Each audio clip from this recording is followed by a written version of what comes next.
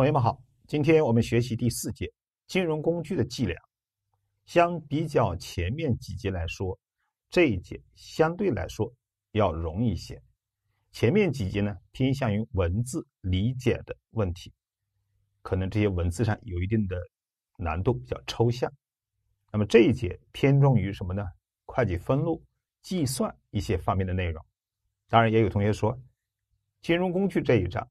我就第四节学的还不错，这只能说是你的最基本的要求，这也是我们这一章最简单的部分，啊不，并不是说仅仅只掌握这一部分就够了。我们前面啊几节，包括后面还有难度比较大的，都是需要掌握的。那么这一节呢，总共讲五个问题。第一个问题是有关金融资产和金融负债的初始计量。二和三是有关金融资产和金融负债的后续计量，然后第四个大问题是有关金融工具的减值，最后一个问题是金融工具的重分类。好了，下面呢，我们首先看第一个大问题：金融资产和金融负债的初始计量。企业在确认初始确认，也就是第一次初始确认金融资产。和金融负债时，按什么金额来计量呢？按照公允价值啊，这是总的一个原则。首先是按照公允价值，比如当企业取得金融资产时，一般情况下，我们认为买入的价格是属于公允价值，所以我们就按照买入价格来计量它的成本。其中两点要注意：第一，对于以公允价值计量及其变动计入当期损益的金融资产以及金融负债，在初始确认时，可能有相关的交易费用，比如当企业取得以公允价值计量及其变动计入当期损益的金融资产，发生了一些相关的交易费用、手续费等等，这个直接计入当期损益是什么呢？投资收益科目记到投资收益科目的借法，直接体现在损益里面去。当然，这句话里面要注意一下，不仅仅是公允价值计量及其变动计入当期损益的金融资产，也包括公允价值计量及其变动计入当期损益的金融负债。我们在后面还会讲到金融负债的会计处理，它在初始确认时所发生的相关交易费用。也是直接计入投资收益，也就是计入当期损益。第二，对于其他类别的，所谓其他类别的，就是除了刚才交易性金融资产、交易性金融负债以外的金融资产或者是金融负债，他们在初始确认时所发生的相关交易费用，都是计入初始确认金额。什么叫初始确认金额呢？说白了就是计入该资产的成本，或者说计入该负债的成本。好，这是先给大家理一下：当企业初始确认金融资产或金融负债时，原则上是按照公允价值计量。其中两点注意，都是讲相关的交易费用。对于公允价值计量及其变动计入当期损益的金融资产，以及公允价值计量及其变动计入当期损益的金融负债，他们俩所发生的相关交易费用直接体现在损益里面，计入投资收益科目的借法。其他类别的所有的金融资产、金融负债，在初始确认时发生的相关交易费用，应当计入初始确认金额。所谓初始确认金额，就是计入这该资产的成本。或者说计入该负债的余额里面，给大家归纳一张表，不同类的金融资产、金融负债相关的交易费用分别怎么做？先看金融资产，我现在这张表里面体现出来的是四四类金融资产。我们当时讲金融资产是三加一，是不是？三加一，其中以公允价值计量及其变动计入当期损益的金融资产，它的相关交易费用计哪儿？记到当期损益里面去。其他三类金融资产包括以当余成本计量的金融资产，以及以公允价值计量及其变动计入其他综合收益的金融资产。他们的交易费用是计入资产的成本里面去。还有指定为，也就是其他权益工具投资，指定为以公允价值计量及其变动计入其他综合收益的金融资产，它也是计入初始确认金额。这是三加一金融资产。那么接着再看一下金融负债。金融负债呢，我们前面也讲过它的分类，也有四类，重点掌握两类。所以我在这张表里面注意下面啊。下面另外显示出来的是有关金融负债。第一个是以公允价值计量及其变动计入当期损益的金融负债，它和上面的交易性金融资产一样，发生的交易费用都是计入当期损益。而以摊余成本计量的金融负债，那么它所发生的交易费用应当计入初始确认金额，计入负债的账面余额里面去。啊，这是通过这张表归纳一下。下面我们再看第二个问题：金融资产的后续计量，也就是说，取得金融资产以后，如何进行会计处理？前面讲到金融资产呢，分为三三加一，具体分类三类，然后再加一个特殊的规定，也就是四类金融资产吧。那下面我们就按照这四类金融资产的顺序，给大家分别来讲一下不同的金融资产。在取得以后，如何进行会计处理？首先看括号一，是第一类金融资产，也就是以汤匀成本计量的金融资产。第一个问题，汤匀成本计量的金融资产涉及到按照实际利率法来进行摊销，其中还涉及到一个名词叫实际利率。那下面我们首先解释一下什么叫实际利率法，然后我们再看一下什么叫实际利率。所谓实际利率法是指。我们在计算金融资产或者金融负债，注意，金融负债，等我们后面学习的时候，金融负债的后续计量也会涉及到实际利率法。其实关于这个知识点呢，我们在前面讲负债的时候，比如公司债券、企业发行一般的公司债券，包括可转换公司债券，其实都涉及到了实际利率法，确认利息费用，计算摊余成本。因为实际利率法也牵涉到另外一个名词，叫摊余成本。所以，实际利率法是企业计算金融资产或金融负债，就不仅金融资产里面有实际利率法的问题，金融负债里面也会涉及到实际利率法，以及将利息收入或者利息费用分摊到每个期间。我们在金融资产里面涉及到将利息收入在每个期间进行分摊，也就是说每个期间要确认多少利息收入。如果是金融负债的话，那就要确认利息费用。它是这么一种方法，当然这种方法呢，只是简单的说一下。那么关键是要理解这个实际利率，所以下面呢，我们就实际利率给大家说明一下。实际利率有要注意要区分的，一般情况下，实际利率是指将金融资产或者金融负债在预期的存续期内估计未来的现金流量折现为该资产今天的账面余额。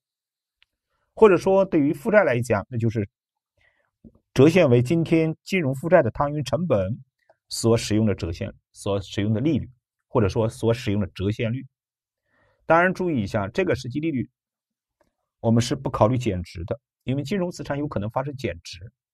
那那么我们在确定实际利率时，请注意，我们不考虑将来预期发生的减值，将来发生的减值将引起现金流量的减少。那么预计未来现金流量折下来结果就不一样。对于实际利率，我们这个概念请注意，应当在考虑金融资产或者金融负债所有条款的基础上，估计预计未来现金流量，而不应当考虑预期信用损失。也就是说，你我们算实际利率这个名词，它是在不考虑减值的情况下，也就是说预期没有发生减值的情况下，所未来的现金流量折到今天的一个折现率。那这个怎么理解呢？我在这儿呢，给大家画个图表来说明一下。那这个图表我们前面也看过，给大家也简单的介绍过。比如举例，口头上举个例子来说，甲公司今天花了九百五十八元购买购买了面值一千元的乙公司发行的公司债券，面值一千元，票面利率假定是百分之五，票面利率百分之五，那么大家就清楚了。甲公司在今天，比如二零零一年一月一号这一天这个点上，购买了这个债券，假定啊，另外口我口头上举个例子，每年末付息分分期付息还到期还本，每年末我们会收到五十元的利息，到期我们收回本金加最后一期的利息。那这样呢，我们从这里面可以看出，这个债券金融资产呢，未来的现金流量。那实际利率是什么意思呢？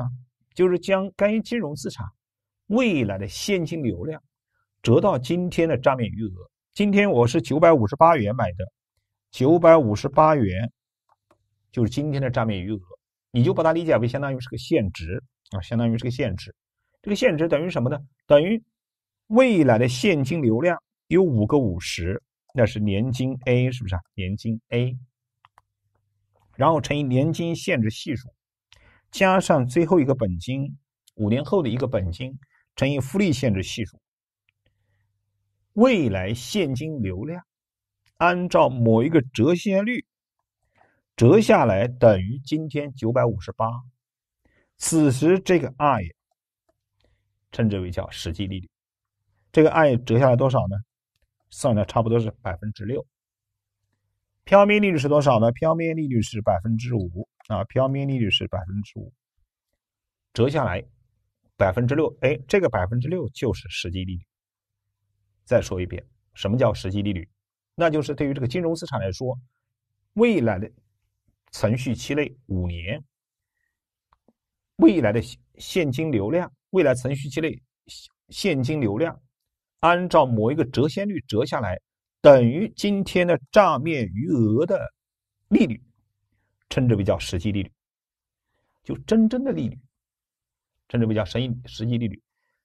百分之五是名义利率，票面利率，名义上每年给百分之五的利息，一年五十元。实际上，实际的利率比这高多少呢？百分之六。为什么呢？因为投资人当时是按照低于面值。一千元的价格去购买的，当时少付了四十二元，相当于我投的本金没有一千元。那么，我将来未来期间，我获得了虽然是五十元的票面利息利率，这个利息，但是我实际利率要高，因为我在当初啊，在购买这个债券的时候，对方相当于是折价发行的。对于提前已经对我做了个补偿，补偿了四十二元给我了，我不用出这个四十二元。所以未来五年虽然我只拿到百分之五的利息，但是我实际的利率是百分之六，因为我提前已经得到了补偿。这样的这么一个道理。好了，那这样呢，给大家来解释一下，就是实际利率是指将金融资产在预计的存续期内估计未来现金流量折现为今天。账面余额这么一个利率，或者说叫折现率，称之为叫实际利率。对于金融负债来说，道理是一样的。那么强调一点就是，如果说实际利率，那就是指在不考虑金融资产预期信用损失的情况下所计算出来的折现率。第二个利率，请注意不一样了。我们后面会讲到金融资产，我们后面讲金融资产减值的时候会讲到这么一个利率，叫经信用调整的实际利率。那这个是专门针对金融资产来说的。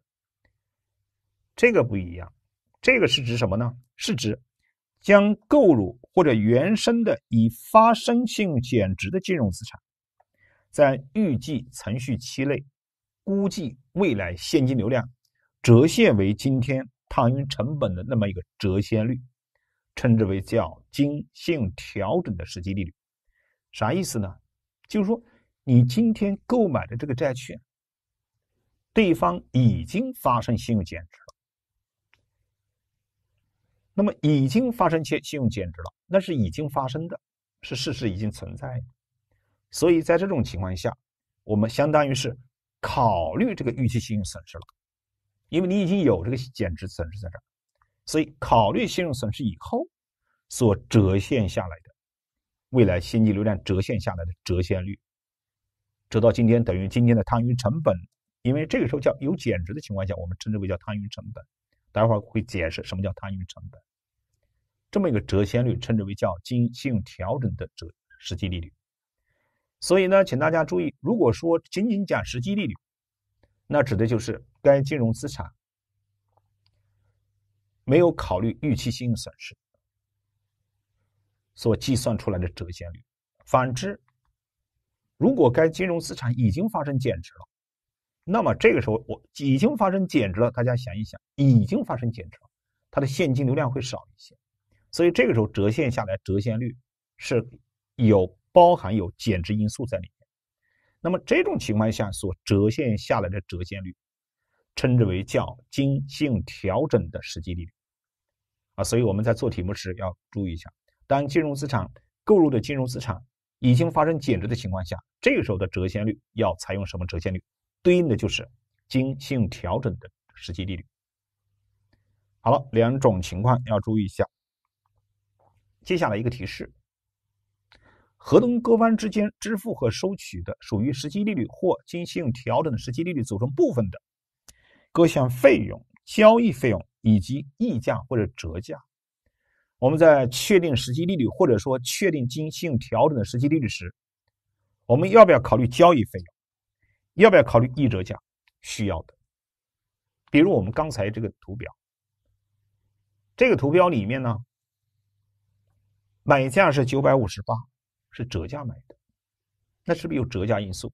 那我们在折现的时候，折现折到下来是折到今天九百五十八，那就说明什么呢？说明我们在计算这个实际利率时，是考虑折价因素的。那如果溢价，道理是一样的。另外一点。如果在购买的过程当中发生有交易费用，比如我另外支付十二元的交易费用，那再加上去呗。那这个时候折现就折多少？把视为今天账面余额就折叫九百七。这就说明把交易费用也要考虑考虑进去。如果有一折价，一折价要考虑吧？也要考虑。在算折现率的时候，算那个实际利率的时候也要考虑。比如这道题啊。我想说一下，假如我们这道题是九百五十八买的，我刚才说过，按照未来现金流量折下来五年期的这个债券是五年期的，票面利率百分之五的情况下，折下来要等于今天九百五十八，我们可以通过财务管理上差值法可以算出这个 i 等于百分之六。啊，差不多是等于百分之六。但是，如果这道题是面值购买的，不是九百五十八买的，面值购买的，那么未来现金流量折下来等于今天的面值，那此时可以推导出 i 等于百分之五，正好就是百分之五，因为你本身是面值买的，那其实此时的票面利率等于实际利率。啊，情况是不一样的。咱们有的同学学这个财务成本管理，那里面有溢价购买、折价购买，还有面值购买三种情况。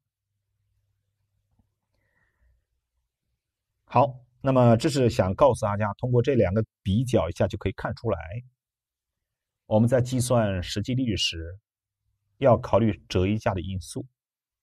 如果有交易费用的话，那也要考虑进去。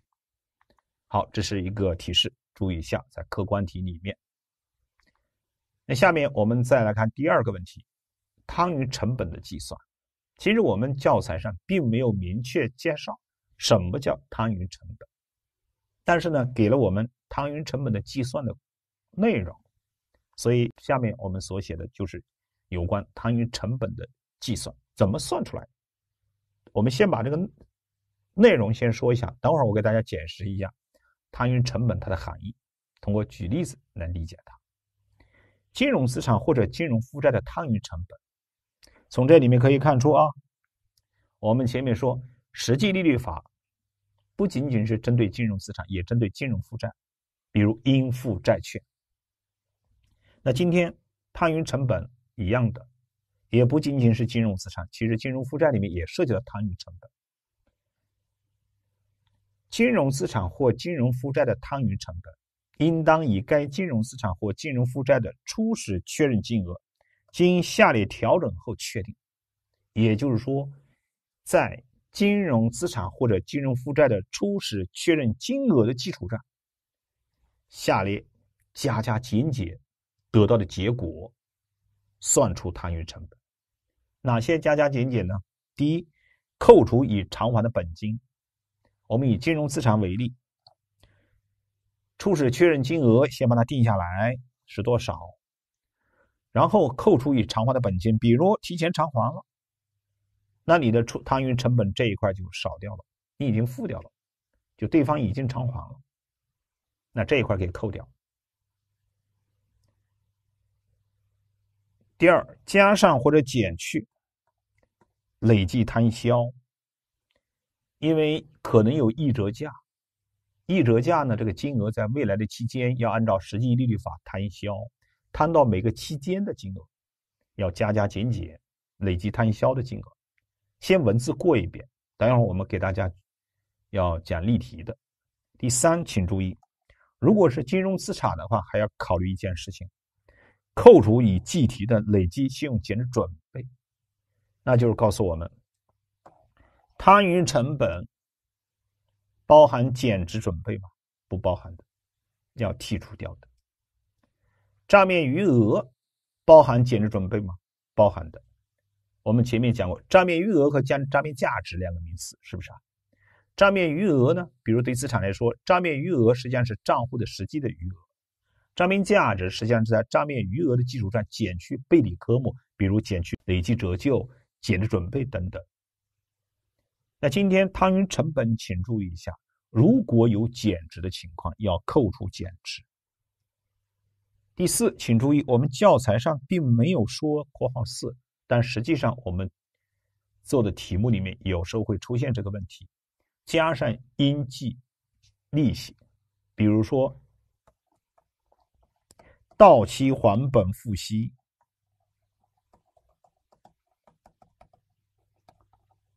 到期还本付息的债券，它有个应计利息，它要属于摊余成本的组成部分。那这是一个过程啊，列了一下。那下面给大家列个式子。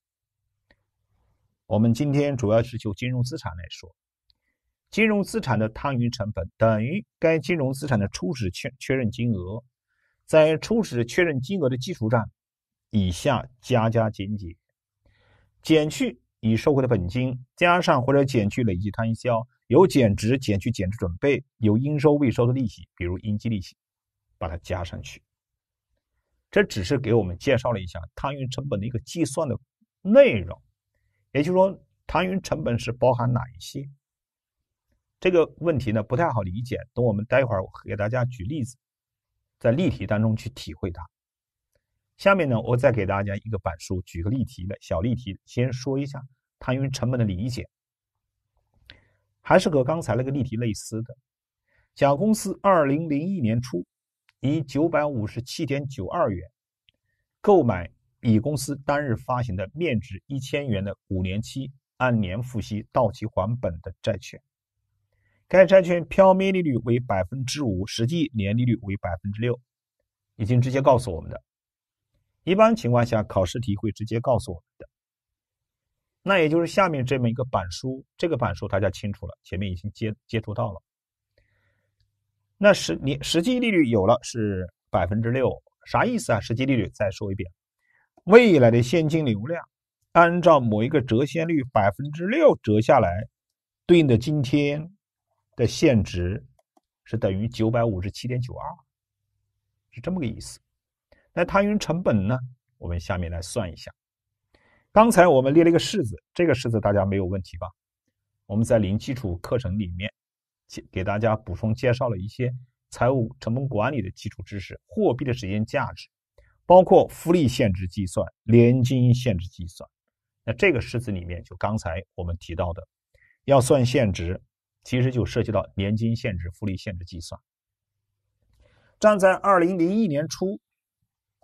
就是原来原来在这个点上，啊，在这个点上，刚取得的时候这个点上，摊匀成本等于多少呢？摊匀成本就是，其实它和实际利率是相对应的一个概念，那就是未来现金流量按照实际利率百分之六折到今天的结果，折下来是多少呢？你看，按照百分之六，实际利率是百分之六，是吧？折下来的结果就是九百五十七点九二，它俩是对应的，已知现值求利率，反过来说，已知实际利率求现值的概念，是不是啊？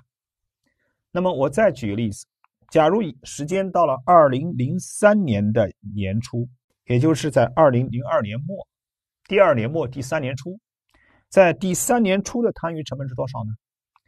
站在第三年初这个点上。还有多少现金流量呢？是不是还有这么多现金流量？那就是剩下的存续期间三年的时间里面，未来现金流量折到这个点上的金额是多少？那这个金额就是摊余成本。那折下来多少呢？那就是注意改为三年了，因为刚才是站在零一年初，那是五年的时间，存续期是五年。那现在是三年的时间，零三年年初，后面还有三年，三年的折下来是九七三点二五。那这个就是摊运成本。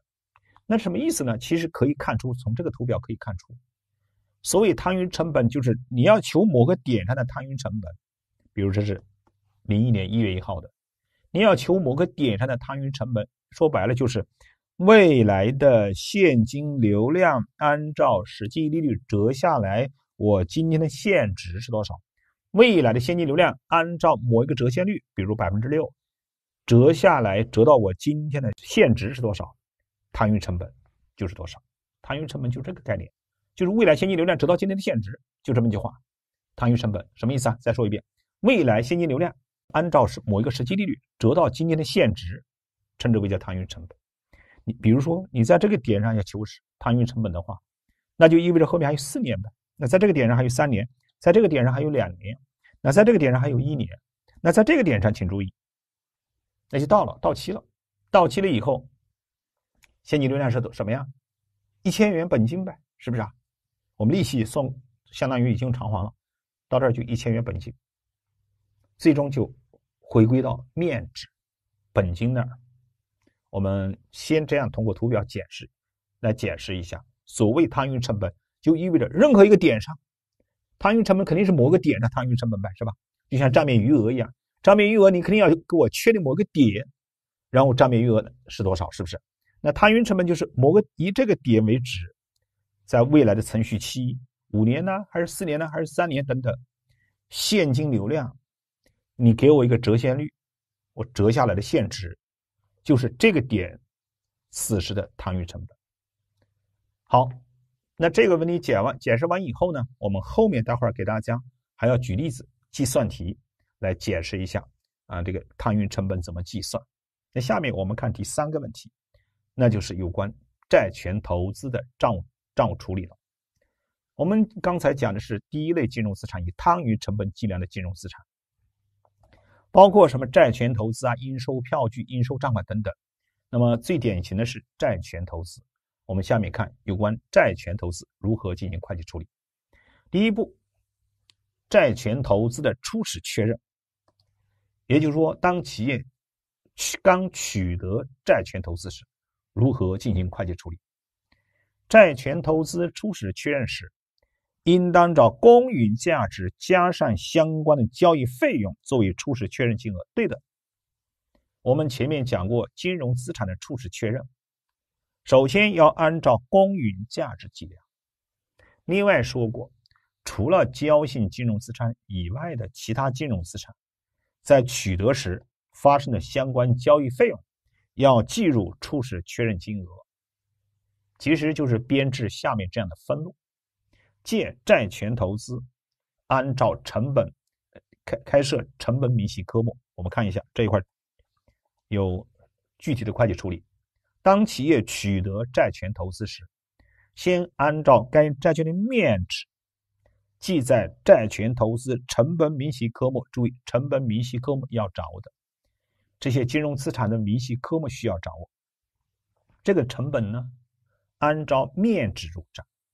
另外，如果支付的价款中包含有已到付息期但尚未领取的债券利息，那么单独列在应收利息里面。如果有的话，然后贷方贷银行存款，最后可能有差额，借贷可能出现差额，这个差额计入另外一个明细科目，叫利息调整明细科目啊，这些明细科目要掌握。也有一部分同学在学的过程当中，哎，这块我学的还是挺好的，我们前面就是学的不好。我刚才不是讲过这个问题吗？嗯，有一部分同学什么情况呢？其实你已经考过中级会计职称了，其实你相对来讲是有一定的优势的，和其他同学相比是有一定的优势的，你已经有一定的基础了。在中级会计职称里面呢，这些内容呢，那是最主要的部分。而我们前面学了有关什么金融负债和权益工具的区分等等，以及我们后面将要学到的一些内容啊，在中级会计职称教材里面没有。所以你就感觉到学起来特别累，哎，这些你学过的哦，你就好轻松。本身这一块呢，它相对来讲难度要小一些，在中级会计职称里面作为重点部分。本章的有很多内容难度特别大的啊，中级会计职称教材都不敢放到里面去的啊。现在你没有学，然后本身就难度很大的啊，所以就这个落差特别大。哎，我在学中级的时候，中金金融资产呢，金融负债，我说学的还挺好的嘛。你要正确的认识到这个问题，是因为本身在中级会计职称里面，就是今天讲的这一些，是相对来说比较容易些的，而我们这一章其他一些内容的，啊，难度相对比较大，本身在中级会计职称教材就没有，啊，所以你学起来就感觉这个，就是我刚才讲的这个落差特别大，哎，这块还挺容易的，呃，那些内容难度特别大，一下子就感觉到这个差距拉开来了。好了，那我想说的意思什么呢？就是说这一块其实有的同学还是挺熟悉的。那下面就这段话呢，我写一个会计分录：借债权投资成本明细科目按面值金额入账。如果有应收已到付期期但尚未领取的利息呢，我们就借应收利息。贷方贷银行存款，然后借贷方出现一个差额，我们计入利息调整明细科目。当然了，也可能在借方，也可能在贷方。那这笔分录怎么去理解呢？我下面口头举个小例子来说一下。假如甲公司以一千零二十元的价格购买了一张面值一千元的乙公司当日发行的公司债券，我花多少钱呢？花了一千零二十，那就一千零二十吧。贷方贷银行存款，借方借什么呢？借债权投资成本。按什么金额入账呢？按面值，那面值多少啊？面值一千啊，面值一千。哎，假如没有利应收利息啊，假如没有应收利息，哎，那这个时候大家看一下，这笔分录出现一个差额，是不是二十？在哪儿？在借方，那借方就写到借方去呗。写哪儿呢？利息调整明细科目。那这就可以了。那这个买价，这就是什么呀？这就是公允价值。公允价值，我们刚才说了，企业取得金融资产时，按照公允价值入账，两个明细科目合在一起是它的总账科目，也就是初始确认金额还是一零二零。那没错，那就是前面说的，当企业取得金融资产时，按照公允价值初始确认。一零二零买价就是公允价值。好，我现在把题目再改一下。假如说我们是一零二零买的，另外支付了十元的交易费用、手续费，购买了一张面值一千元的债券，那这种分录怎么做啊？借债权投资成本按什么金额？依旧按面值。假如应收利息，我们把它忽略掉，没有贷银行存款，买价一零二零，另支付十元的手续费，另支付加嘛，加十元嘛，另支付那就另外支付，那就再加十元嘛。这个实际上是公允价值，这个是交易费用，交易费用。那么如果没有这个十元的话，我这本来是一个二十的差额，刚才已经说过的。那现在有了个这个十元，这十元记哪儿？那也是借贷平衡记到利息调整明细科目里面，那其实就是三十了，是不是？就是三十。那也说明一个问题：这两个合在一起，这两个合在一起是它的总账，那意味着总账是多少？一零三零。总账一零三零就意味着初始的确认金额。一零三零，啊，我主要是帮助大家理解这个意思，理解什么？下面一个提示：当企业取得债权投资时，发生了交易费用，应当计入该项金融资产的初始确认金额，对不对？对的。所谓初始确认金额，就是总账的科目。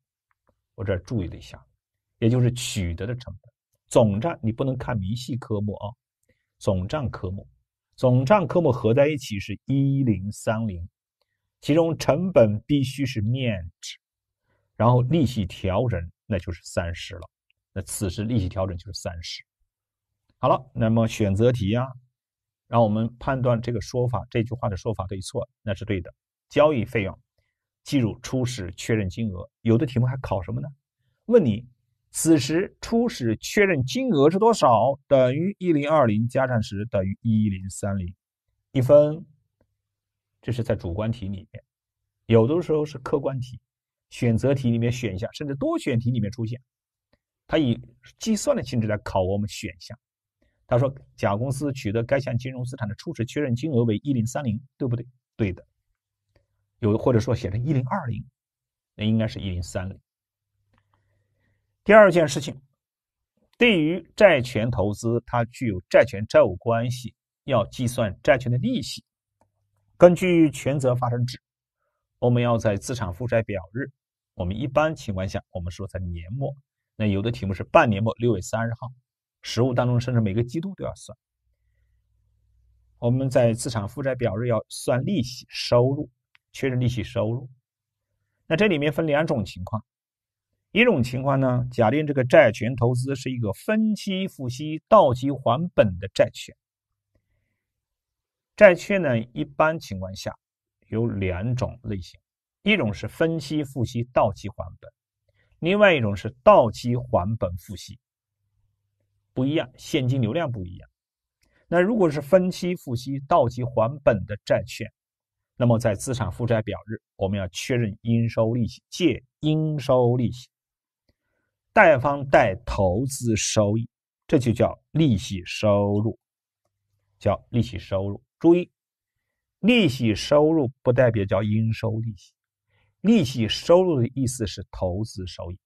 那投资收益怎么算呢？注意啊，我先说一下应收利息。应收利息是按照面值乘以票面利率。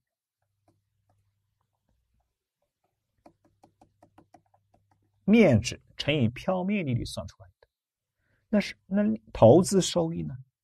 投资收益是根据期初的账面余额，或者是摊余成本，有可能是根据账面余额，有可能是根据摊余成本乘以实际利率算出来的，或者另外一种情况的算法，如果企业取得该金融资产时，该金融资产在购入。时已经发生减值，或者说原生的本身就是减值的，那么在这种情况下，那不一样。根据期初摊余成本乘以什么？经信用调整的实际利率，这和我们前面讲的情况相符的。如果这个债券没有发生减值的情况，我可以按照账面余额或者是摊余成本来算。但是如果这个债券是属于购买或者原生时就已经减值的情况，那么此时我们对应的实际利率是经信用调整的实际利率。当然这一块呢挺复杂的，听起来挺复杂的。我们暂时先不掌握这一些，我们暂时就把它理解为按照摊余成本来算，甚至我们暂时把问题简单化，摊余成本你就理解为账面余额，因为账面余额我们特别容易理解，是不是啊？画一个定型账户，汇总一下是多少。那么暂时呢，我们还没有学金融资产减值的时候啊。我们先不考虑那么复杂，我们一点一点的来啊。所以这一块呢，你先别管括号里面的，我就把它简化为账面余额乘以实际利率，可以吧？账面余额乘以实际利率，或者说你不考虑减值的情况下，你把它理解为账面余额就等于摊匀成本，也就是摊匀成本乘以实际利率，算出你投资收益。这样呢，借贷方可能有差额，那这个差额是计入利息调整明细科目，其实是对利息调整进行摊销。请大家看一下这样一笔分录：借应收利息是根据什么呢？面值乘以票面利率，然后贷方贷投资收益就是我刚才说的，按照账面余额或者是摊余成本乘以实际利率。下一行暂时不考虑这个事情。这样呢，借贷方可能会有差额。记住，利息调整明细科目其实是相当于对它进行摊销。好了，这是第二步，在资产负债表日，我们要算利息收入，算出本期的投资收益是多少。因为我们是权责发生制，权责发生制要算每个会计期间的投资收益。接下来第二种情况，那如果是到期一次还本付息，什么叫到期一次还本付息啊？就像你把钱存在银行，存一个五年期定期的。五年以后本金，比如说，就像刚才前面口头举的那个例子，买了个债券，分期付息，到期还本，每年末给你五十元利息，到最后五年以后加加一千元的本金，是不是？那如果是到期还本付息，那不一样。那前五年、前四年是没有现金流量的，只是到期的时候啊，到期的时候一千元本金加上五十乘以五一道给你，而且是什么呢？是单利计息。在这个点上才给你的单利计息，前面没有利滚利的，那么这就是到期一次还本付息，正是为五年以后才给利息，所以它是个长期的非流动资产。正是因为非流动资产，所以这儿对应的科目记载债权投资开个明细科目叫应计利息，因为它是个非流动资产，债权投资就是非流动资产，所以就写到这儿了。如果是分期付息的，每年末能收到利息，那是流动资产。流动资产我就对应的科目叫应收利息，应收利息是流动资产的项目。好了，其他的其实是一样的。我们看一下分录，其实就是把借方应收利息替换一下，是不是啊？替换成借债权投资明细科目应计利息，计算是一样的，面值乘以票面利率，贷方贷投资收益，期初。注意啊，是期初啊，这个我们强调，再强调一下，期初的账面余额或者是摊匀成本乘以实际利率，然后差额是利息调整就可以了。好，这就是有关债权投资第二步第二件事情，在资产负债表日如何确认利息收入。另外这儿一个提示，就是刚才所说的，我刚才口头上已经说了，在学我们在学习金融资产减值的内容之前呢。也就是我们暂时不考虑金融资产减值的问题，我们在算投资收益时，你就把它简化，简化为账面余额乘以实际利率。而这个账面余额在没有减值的情况下，其实注意这一点，摊余成本相相当于就等于账面余额，在没有减值的情况下，啊，不考虑减值的情况下，你把它理解为就相当于相等的。这样我们在做题目时候好算。什么摊余成本呢？我就画定期性账户算出余额就可以了。接下来我们再看第三件事情，那就是终止确认，比如到期了，比如出售了，那这个时候会分分录怎么写呢？我们以到期还本付息为例来说，处置时借银行存款多少钱就多少钱呗，然后贷方贷债权投资，把相关明细科目从相反的方向结转掉，最后算出一个差额计入投资收益就 OK 了。其实处置比较简单一些，如果有减值准备，再把减。债权投资的减值准备结转掉，那我们现在呢，暂时先简单化，不考虑减值的问题。好，这就是有关债权投资的具体账务处理，分三个步骤。第一步，初始确认时，也就是取得时怎么做，有哪些要求？第二，在资产负债表日，利息收入怎么确认？第三，那就是出售的时候，终止确认如何进行会计处理？那下面呢，我们就给大家举个例子来看一下。甲公司于二零二一年一月一号以银行存款四幺七零零万元购入乙公司当日发行的面值总额总额是为四个亿的公司债券。啊，我在编题目的时候是特意这样设计的：二零二一年一月一号，你就理解为是第一年。另外支付相关的税费三十点八万元，有交易费用。乙公司债券的期限为五年，票面年利率为百分之六，每年付息一次。从二零二二年起，每年一月五号支付上一年度的债券利息，到期还本及最后一年利息，说明它是一个分期付息、到期还本的债券。另外，假定实际利率是百分之五，直接告诉我们，一般情况下，题目会直接告诉我们的。甲公司以收取合同现金流量为目标，管理该项金融资产。这是什么呀？这是我们前面所学的金融资产分类的标准。那也就说明，甲公司是以收取合同现金流量，应该是分为第一类金融资产，是不是啊？应该是分为第一类金融资产，也就是摊余成本计量的金融资产，所以要通过债权投资科目进行核算。这是第一个条标准。第二个标准是客观上，这个很好理解。乙公司债券募集说明书的相关条款规定，该债券在特定日期产生的现金流量。仅仅为对本金或以未偿付本金金额为基础的利息的支付，说白了就是符合本金加利息的合同现金流量特征。考试题有可能把这道题，假如这道题编成一个考试题的话，它首先让你判断甲公司取得该项金融资产应当分类为哪一类金融资产，并说明理由。那么第一小题答，应当分类为汤余成本计量的金融资产，理由理由就是两两点。其实就是这两点，抄下来都可以了。好，继续。甲公司每年年末确认利息收入，权责发生制，每年年末算投资收益。假定不考虑所得税减值，你看，我们暂时不考虑减值。那么甲公司每一年应该怎么做呢？这道题是例题，我们刚开始学的时候是例题。例题呢，完整的从前到后，第一年开始到第五年全部做，给大家解释一遍，整个一个流程呢，熟悉一下。考试题呢，它要提高一下，它会第一年做好以后，让你做个第三年的，断档了，那你你那你要在草稿纸上要完成一些。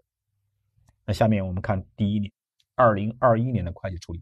二零二一年一月一号取得时，借债权投资成本明细科目按照什么？按照面值四个亿，贷方贷银行存款公允价值四幺四幺七零零，题目告诉我的交易费用三十点八。贷银行存款，那利息调整差额全部计入利息调整，幺七三零点八，幺七三零点八其实就是包括溢价的部分，包括交易费用都在里面，是不是啊？那接下来一个提示，那就是考试题啊，有可能第二小题，编制甲公司取取得乙公司债券时的会计分录，并计算甲债该债权投资的初始确认金额。计算题嘛，它就一个小问一个小问的。初始确认金额是四幺七三零点八，包括交易费用三十点八，零点五分，这是零点五分，啊，这是零点五分，那就拿了，就是这样的。这第二小，假如这道变成一个考试题，第一小题刚才也答了呀。这是第一小题问，这是属于甲公司应当分类为哪一类金融资产？答对了。摊余成本计量的金融资产零点五分，然后理由理由零点五分，两点嘛，每一点是零点二五分，啊，每个是零点二五分，两条那就是零点五分。其实考试题就是这样评分标准的，一一步一步来的。下面再看二零二一年十二月三十一号计提利息的相关分录，因为这是分期付息的，所以借应收利息面值。乘以票面利率啊，乘以票面利率百分之六两千四，所以第一步我这儿有序号，序号呢就是告诉我们在做题时这个思路。第一步把应收利息写出来，第二步我们算投资收益，投资收益怎么算？前面说过，大家口头表达一下，期初的账面余额。或者说摊余成本乘以什么实际利率？实际利率是百分之五已知。期初的摊余成本，期初注意今天是十二月三十一号，期初是什么时候？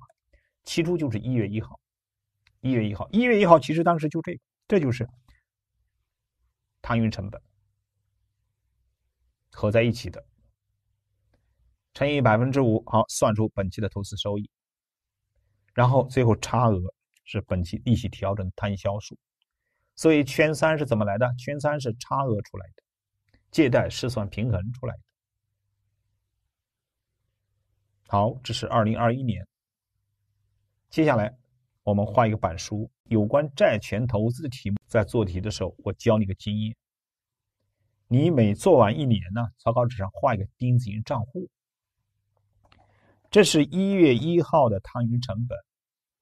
也叫初始确认金额四幺七三零点八，然后刚刚这笔分录做完以后，债权投资利息调调整在贷方有一个金额三幺三点四六，那你登账把它登一下，这样就结出这个余额出来了。这个余额实际上是十二月三十一号，二零二一年十二月三十一号的账面余额。你也可以把它理解为是摊运成本，把它结出来有什么好处呢？下一年，明年十二月三十一号再算投资收益时，每年都要根据期初摊余成本或者账面余额算，是不是啊？那今年年末的摊余成本就是明年年初的摊余成本，所以我们今天在编制完当年的这个分录时，把这个钉子型账户。登账，把余额结出来，为明年做好准备工作。好了，接着在这儿呢，我补充一个知识点：在分期付息到期一次还本的情况下，我们要算有的题目让我们算期末的摊余成本，那怎么算呢？给大家一个公式，等于当期期初的摊余成本乘以一加实际利率减去应收的利息。比如这道题，我们要算二零二一年十二月三十一号的摊余成本。最简单的算法怎么算呢？我们一般是通过借贷借贷方法啊，借贷分录，然后划给定资金账户，把这个余额算出来的是吧？那么简洁的方法就等于期初摊余成本四幺七三零点八乘以括号一加百分之五减去应收的应收的利息两千四。两千四啊，两千四啊，两千四算出来就可以了。其实说白了就是什么呢？就是我们刚才是什么呢？是四幺七三零点八加上四幺七三零点八乘以百分之五减去两千四，是加上这一部分的。那这个是个，其实就是刚才这个数字。只不过算出来是个负的而已。那每一年都这么算，根据当要算当年某一年末的摊运成本，你就根据该年年初的摊运成本乘以一加实际利率减去应收利息。OK。好，那下面我们再看二零二二年。二零二二年首先有一件事，一月五号付上一年的利息，这个简单。借银行存款贷应收利息，对方每年给我们付利息的。我们每年年初收到利息。接下来，二零二二年十二月三十一号，这个和前面思路是一样的了。借应收利息依旧是面值乘以票面利率两千四。第二步，贷投资收益什么？期初摊余成本乘以实际利率。期初摊余成本在哪儿呀？我们前面不是做好准备工作了吗？这儿不已经算好了吗？是不是？四幺四幺七点三四，上一年年末我画钉子型账户已经做好，为下一年做好准备工作了，所以这个数字就出来了。最后差额，第一步算应收利息，第二步算投资收益，第三步差额利息调整三二九点幺三，这就是二零二二年十二月三十一号。那么如此类推，我们二三年、二四年、二五年都这么做。那么刚才说过，每年末做完这笔分录以后登账，三二九点幺三在贷方是吧？在贷方登账，又把二零二二年末的摊运成本算出来，四幺零八八点二幺，为第三年提供服务。所以我们再看第三年，四幺零八八点二幺乘以百分之五，那么第三年的利息调整摊销数三四五点五九也出来了。这个我就简单说一下。那这个做完干什么？如此类推，再画定子银账户呀。三四五点五九登账，算出第四年末的摊运成本四零七四二点六二啊，算出这个第三年末的。那接下来第四年末，根据年初的就是这个上年末的四零七四二点六二乘以实际利率百分之五，又把第四年的利息调整摊销数算出来的，第四年的投资收益算出来，第四年的利息调整摊销数，摊销数啊，注意这些，这是叫它的摊销数，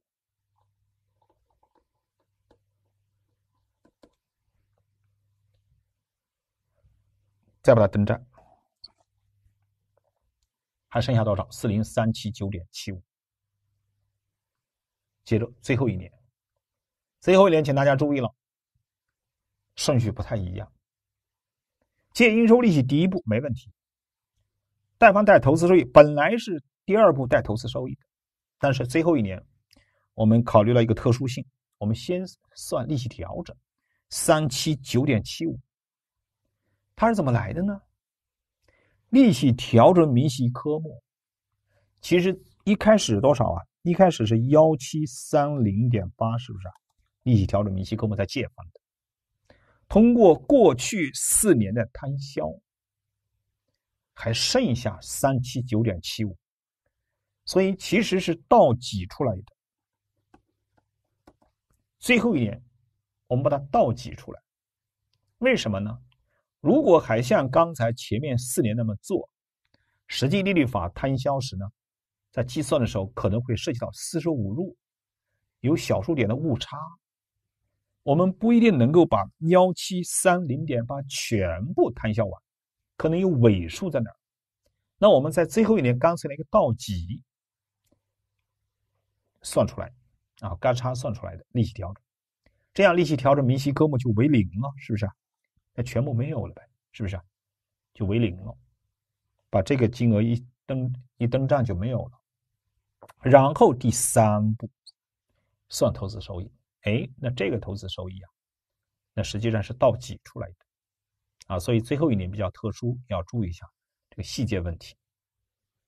好，那这个写完以后呢，我们再登一下账。其实有没有看出来汤鱼成本啊？其实每年末这数字都叫摊余成本，最终到了最后一年就还原到面值上去了。因为最终到五年期到期的时候，那个点上的未来现金流量就是今天的一块钱价值一块钱，我还有四个亿的面值，收回本金。我们后面有这个分录，收回本金的分录是不是啊？就单独拆开来换，收回本金的分录，摊余成本就是这些了。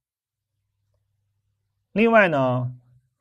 说一个特殊的问题，这是债权投资这道题是面是溢价购买还是折价购买呀？这样吧，我先把这道这个分录说完吧，一个小尾巴。最后，二零二六年一月五号偿还本本金和利息，借银行存款收对方偿还本金和利息，我们收到了借银行存款本金加利息四万两千四，贷债权投资成本明细科目贷应收利息，这没问题是吧？那这道题其实到这儿就结束了，是吧？到这儿结束了。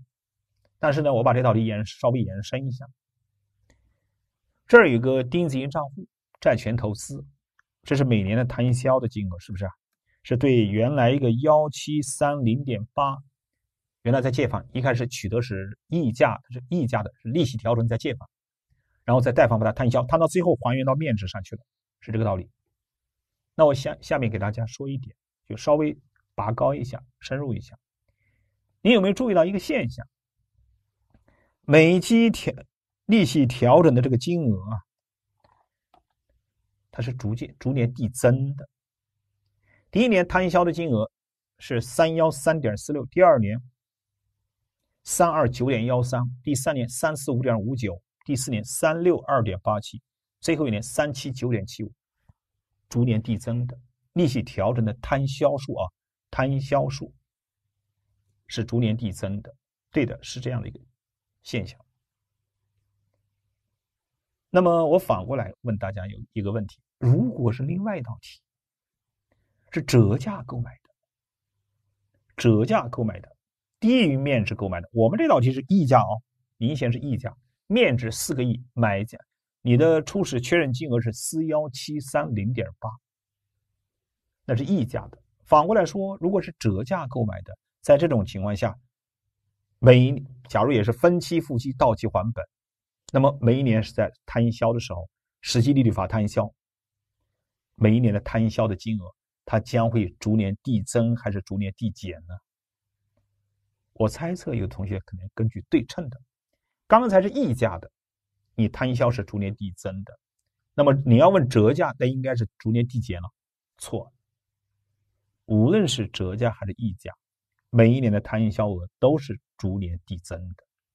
啊，注意一下，假如考到这么一个文字性的题目，可能难度更大一些，因为你一下子平时如果没有归纳总结过这个说法的话，你在临场发挥的时候，一个文字的表述的选择题，你很难判断的。那么，有有同学就在问，那你怎么知道它这个折价就就是也是逐年递增呢？你为什么刚才回答错的呢？其实你是想当然的，你认为溢价逐年递增，那折价就会逐年递减。这是你自个儿的判断，没有经过实战，怎么去理解这个问题呢？那就是课下我们再做一下折价购买的债券，你就去观察一下，它会是也是逐年递增的。那这儿呢，我说明一下，今天我在这个课基础班课件上是给大家补充的例题，教材上例题我没有讲，你可以把教材上。那一道例题关于债权投资那道例题去看一下，它是面值是一二五零，面值是一二五零，买价是一千元去买的，买价是一千元去买的，那你想一下是不是折价的？哎，那道题就是折价的，你去看一下它那一道题，它它折价的也是逐年递增的啊，去归纳一下，只有多多做题。啊，归纳总结才能看得出来。好，那么这道题呢，我们就分析到这儿。那么这节课我们就学习到这儿。在这一节课里面，我们主要是讲了第一个问题是金融资产和金融负债的初始计量，文字性的内容。第二个讲了一下，那就是第一类金融资产摊匀成本计量的金融资产后续计量以及它的具体的账务处理，并且给大家完整的做了一道题。好，那么这一节课我们就学习到这儿，下节课我们再见。